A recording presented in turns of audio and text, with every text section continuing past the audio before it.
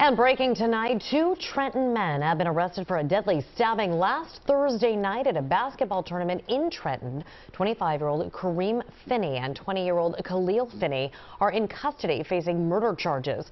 A fight broke out during the game between Trenton and Notre Dame high schools at Cure Arena. Khalil Glanton was stabbed multiple times and died at the hospital.